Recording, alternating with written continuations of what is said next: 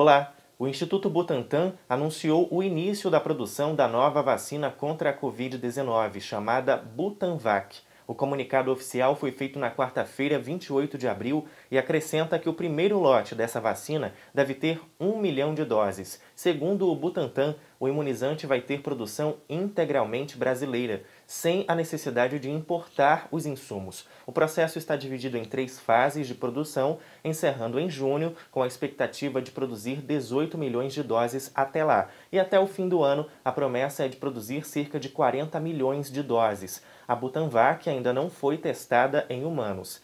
Lembrando que o Instituto Butantan já produz uma vacina contra a Covid-19, que é a Coronavac, está sendo aplicada em todo o Brasil. Mas a Coronavac precisa de matéria-prima chinesa.